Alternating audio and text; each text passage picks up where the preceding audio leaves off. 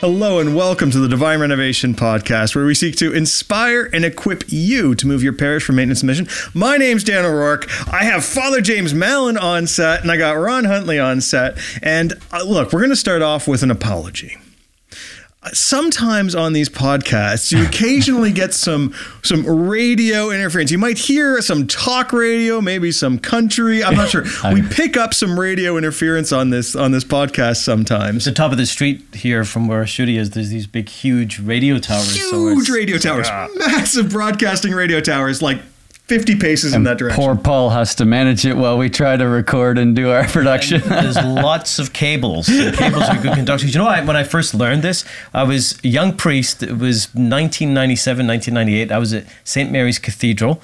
And the building is very old, and the wiring there is probably from the 1950s in some places. Right.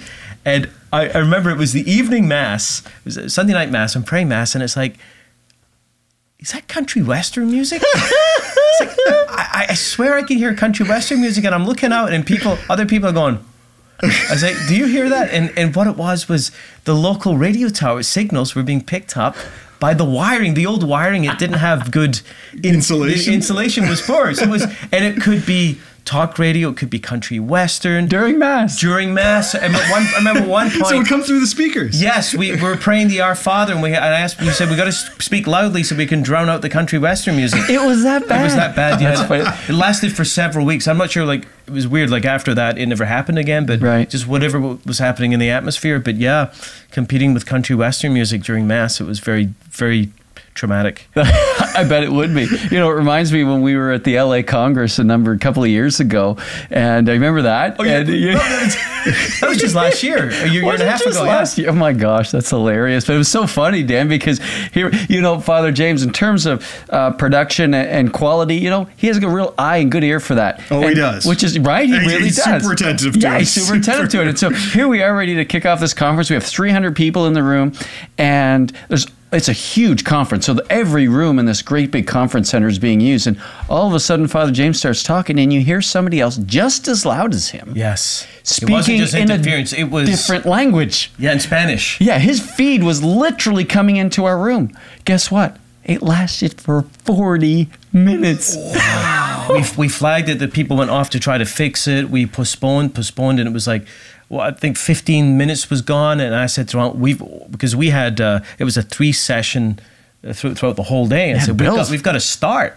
And so we just started talking, and, we, and it was so hard to present with this, not just country western music, but just this equally loud volume and a, and a different language. And then the worst thing happened the the harp music started playing harp music. so there's this harp music being played. I don't know what the heck they were doing in the other room. So I'm giving my talk with a musical background. So I started singing my presentation and dancing. Like I started dancing. It was so silly. Oh, and then, God it, bless and then you. it finally stopped. But it, it really was. Oh, it was so. It was very difficult. Well, hopefully yes. it doesn't get quite that complicated for the podcast here. the, the, the, reality is we don't get to hear the noise. I know it gets picked up on the gear, but yeah. it's a great metaphor for life. It's a great metaphor for parish renewal. Mm-hmm. Tell us about that. Well, the, the task of, of leading your parish from maintenance to mission, there's a lot of interference sometimes.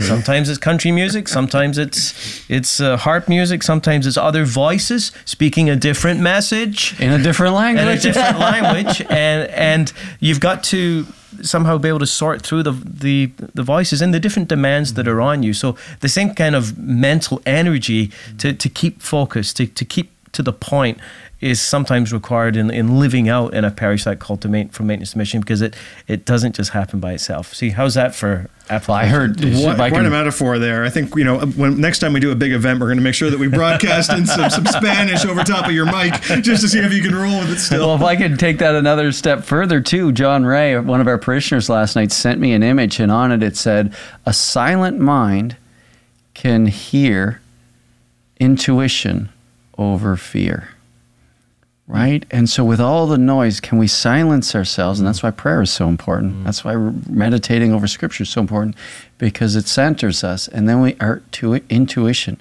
our cooperation with the Holy Spirit can rise up, and we can block out the noise that actually makes us afraid.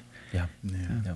Oh, Some of the things that we I know we keep experiencing, keep hearing is that parishes are, are are embracing divine renovation. They're embracing some of the principles, but others are still a little bit reluctant. Have you had any conversations lately that, that sort of blend that the the reluctance, the Yeah, this uh, you know my some of the listeners or viewers may know that I have two jobs. I work for the diocese on the one hand, helping our diocese with with renewal, with working with the bishop, and and working with some of our pastors who are open to it, and and then the other hand, I'm working with divine renovation, which really is dealing with people coming to us. Whereas my other job with the priests is me going to them.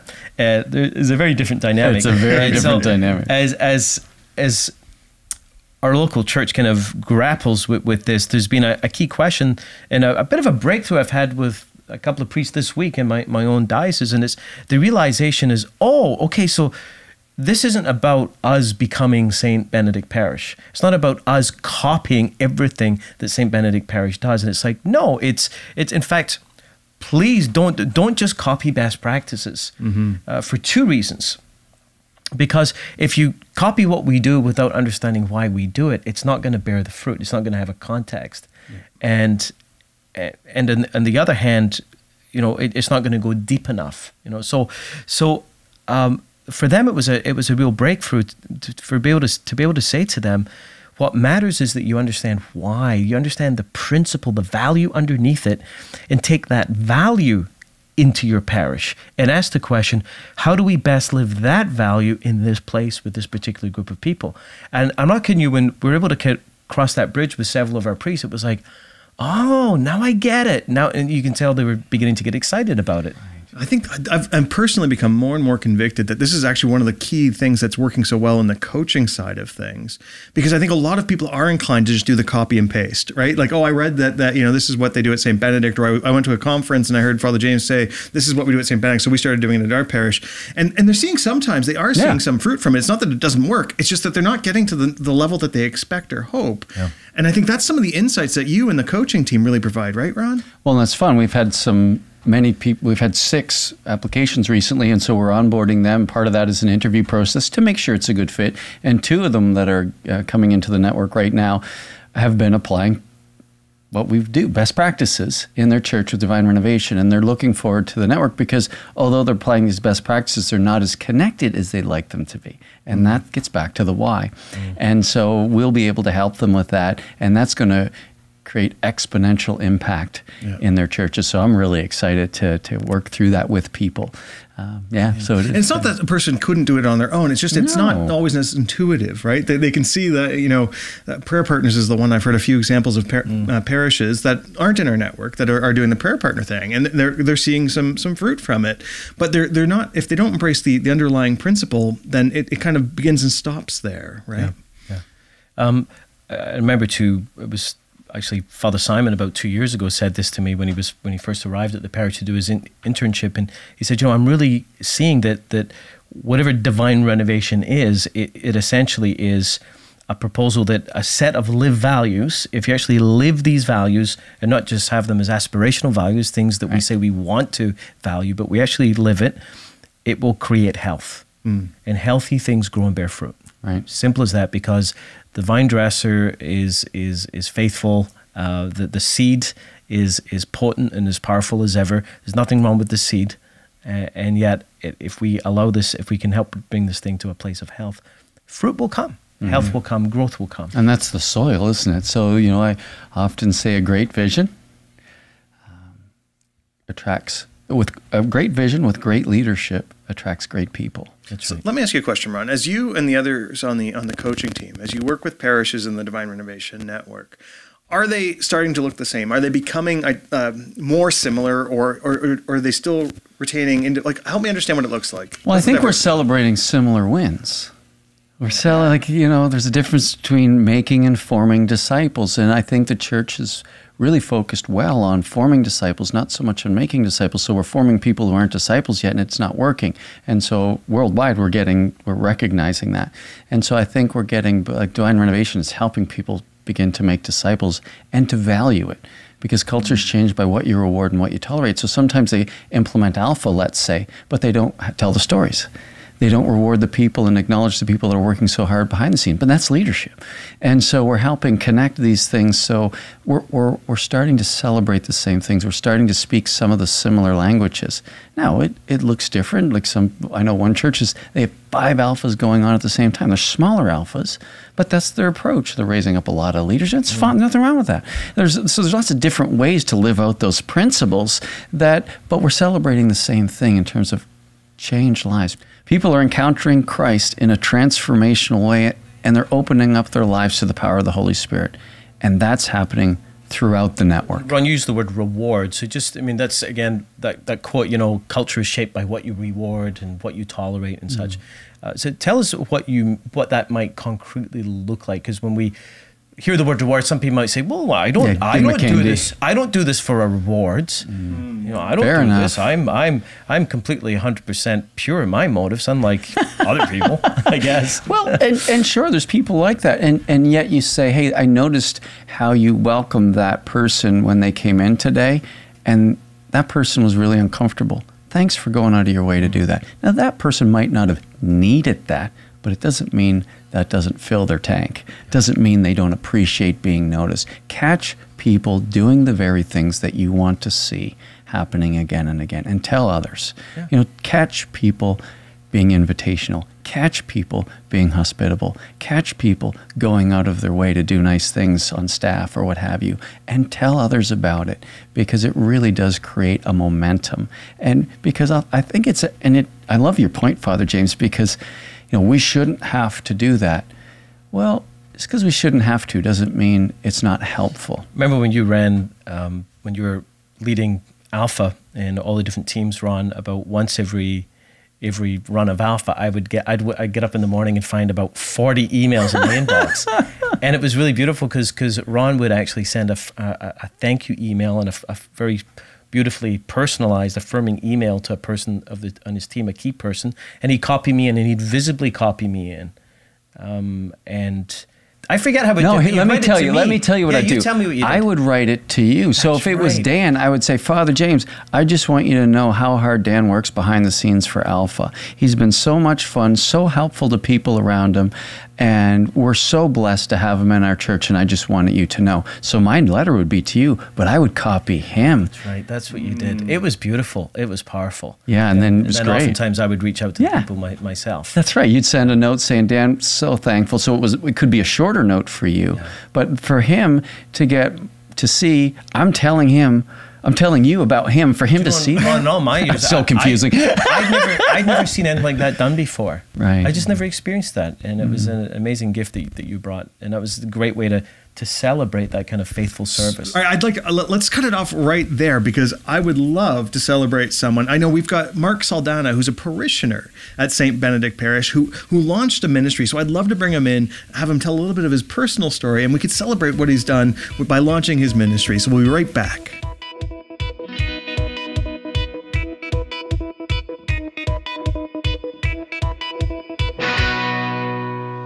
Have you ever read books or listened to talks on parish renewal and leadership and thought, that's good for them? But how would that ever happen in my parish? And do these people even know what it's like to be in a parish? How do you bridge the gap between the theory and real life parish? The Divine Renovation Association exists for all those reasons. It's created for and by people who have lived it and are living it right now in real life parishes. I believe that every parish potential to impact the world around it. I believe that every leader has the capacity to be a better leader. I believe that every parish can be so much better and more exciting than it currently is. And we want to help with that, to help you and your team to move your parish from maintenance to mission. Welcome back, and we've got Mark Saldanha on set now. Mark, it is so good of you to come on on on the. the, the. it's not bad right there. All I'm thinking about is my hands. That's all. They did not move. That's impressive. They're like glued. All right. again. Yeah.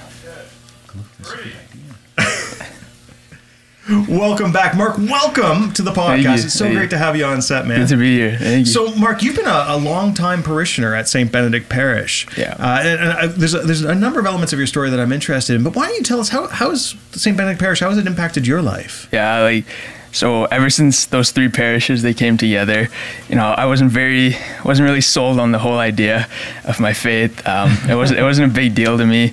Uh, but as soon as I came to St. Benedict's, I still remember our opening mass. I was I was altar server, and there were like 30 other altar servers, and there were so many people.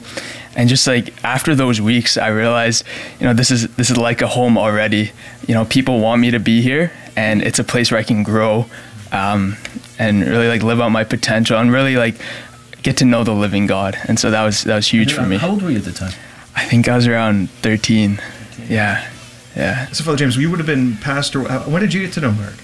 Well, I arrived a couple of months after that first mass. Right. So, of course, at that point, everything was a blur. There was all these people I was I was getting to know. But Mark was an altar server, and he was considerably shorter than me. I just want to say that from the back. at that time he was so it's like he was this little kid, and and now I've I've grown to know this amazing young man, and it's just been such an honor to see you not just grow physically, Yeah. uh, but to see you grow spiritually and to take your place in within our church.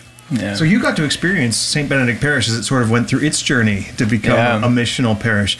What were some of the things that you experienced? Right. At first, at first, I didn't really realize what was happening. Like I, I had no clue, but I, I still remember. I think you you read Father James uh, a letter uh, during one of your homilies. It was like all. I think you read it. You read it later later actually, and it was like all the changes you wanted to see. And I remember it was like, uh, you know, have this many people in ministry, like have the Canadian Tire parking lot, like all, all, all these different things, right? yeah. Exactly. And I, I know you read it again later on, and we had seen how many things have really come true, how many things have happened, and now, and I just at that moment I realized things are happening here, things are changing for sure, and that that was a big eye opener for me. Yeah. Cool. So, uh, Mark, I, like, what about you personally? Like, so you were caught up in it. You were seeing things are going on. You were young. You felt at home. But were there any moments? Were there any experiences in terms of Steubenville? I know part of your story. Of, share share with us. You know, what points did you go deeper in Yeah. your spiritual life? Yeah, so you know, in like my other churches that I've been a part of in youth group, um, it, they were great programs. But what I, the the biggest difference for me at St. Benedict's is that people really cared about me and they wanted to keep it real with me. They didn't want me to just be lukewarm in my faith, and so I think. Like I, I think the biggest moment uh, that I still remember today was I was I was just at a coffee social. I was uh, just minding my own business, eating my lemon cake, you know, drinking some apple juice, and then I see Ron Huntley at the end, at the other end of the the room, and I see him like he's starting to walk over to me, and um, I was like I, I got a little scared, but I was like uh, I, I quickly took another sip of apple juice, and I was I, was- I was, I was ready and exactly, exactly.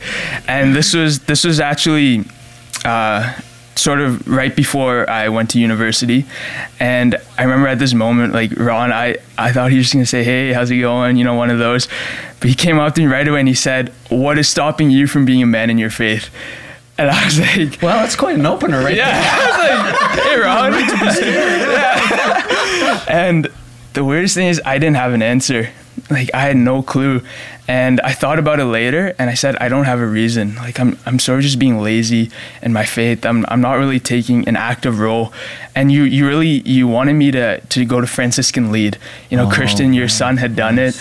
Um, and so, like, you, Christian, and Nick Pinto, uh, the three of you, uh, because of that moment, because you wanted to keep it real with me, and you you noticed something was different in me. That's why I, I decided to do Franciscan lead, and that's what really changed my life going to university. Can you share with those listening, watching, what is Franciscan Lead and what is Right. Steubenville, so that some people will know what that is, but uh, for others Yeah. they might not. Yeah, so the Steubenville, it's it's it's a conference. It's once a year in the summer.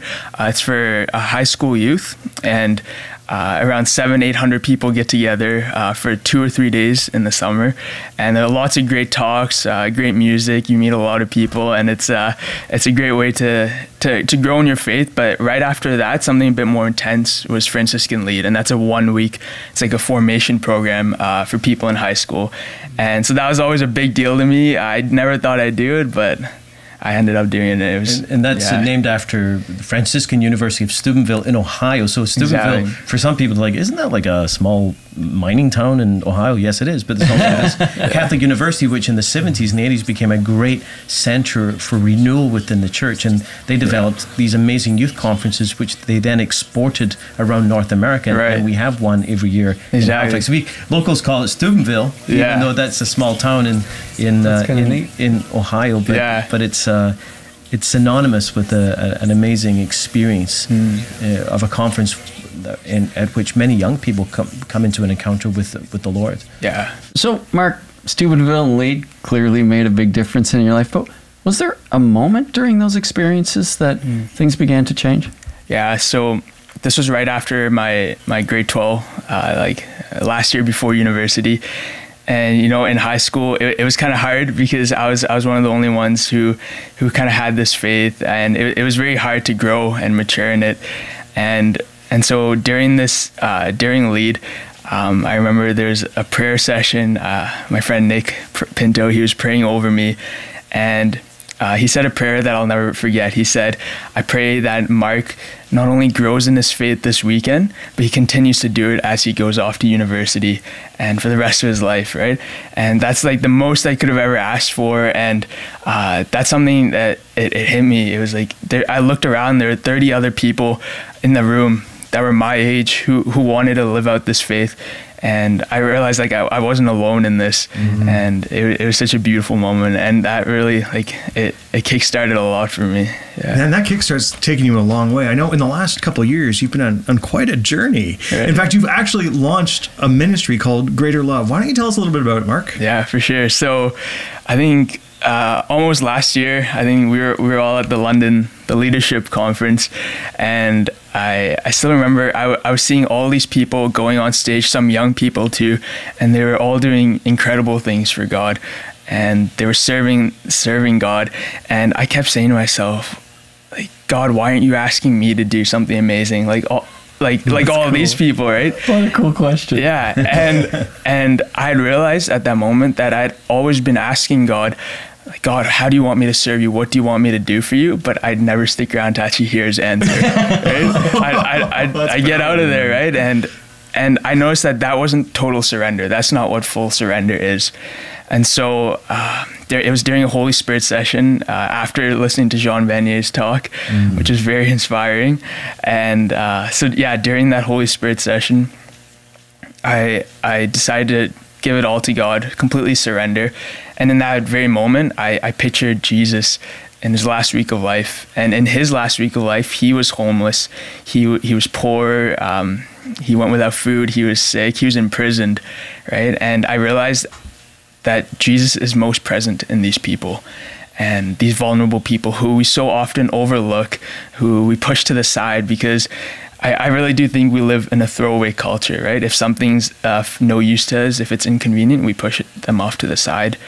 And um, yeah, so it was at that, I think that was the, the turning point for me. I realized there are people who need our help and they're often overlooked. So what can I do about that? And so you, you launched something called Greater Love. Yeah. So what does Greater Love do? Right. So Greater Love. So many, so many youth in Nova Scotia, for example, you know, we like they really do have a heart for others. They are very compassionate people, Yeah. and they want to help others. But personally, from my experience, the most I could do was go in a hospital and like deliver deliver charts or be in a food bank and um, uh, sort cans. All two great things. Yeah. But it's not. You don't really get to work with people. You don't get to spend time with people, get to know them. And so I said, you know, there are people who want to do it, and there's a need for it. So why why don't we create an organization that, that kind of bridges that gap? And um, yeah, so our goal is to really reach out to these vulnerable, these marginalized people, um, uh, show them that we that we love them, that we that we care for them, and uh, like yeah, do whatever we can. How do you them. do it? So, practically speaking, what do you do? Yeah. So every every weekend we'll get together. Uh, it's about 15 people every week, and in total we have around like 100 volunteers who come out, and uh, so we get together as a group.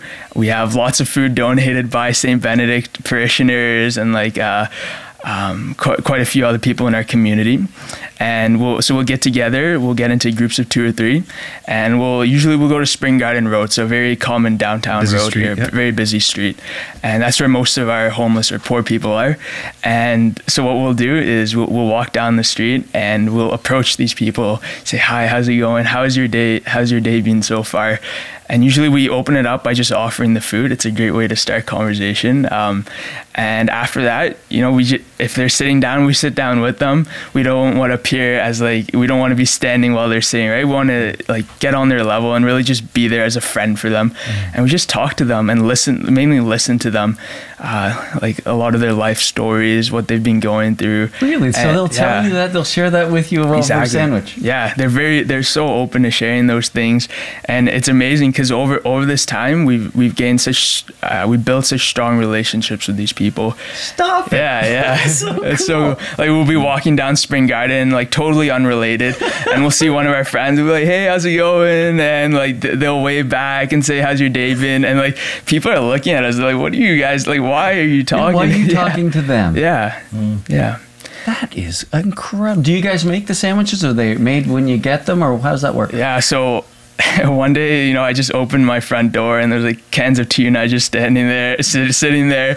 I was like, "How do you know where I live?" First of all, but like all, all these parishioners, they, they're every time I go to church, there's like if they can't come out to volunteer, they say, "How else can we help you?"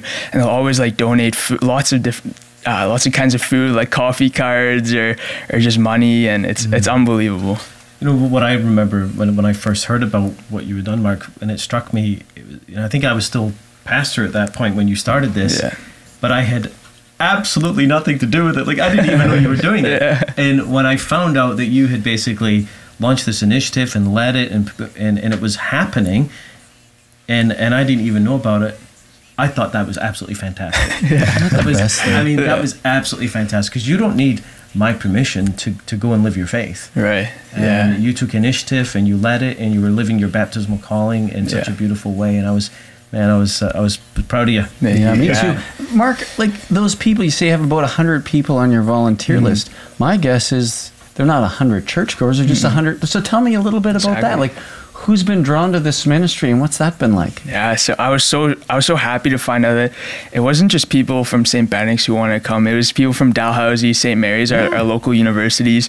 Uh, all so many of these people. You know, as soon as they hear, oh, young students going out to help these people, like sign us up. Where can we sign up?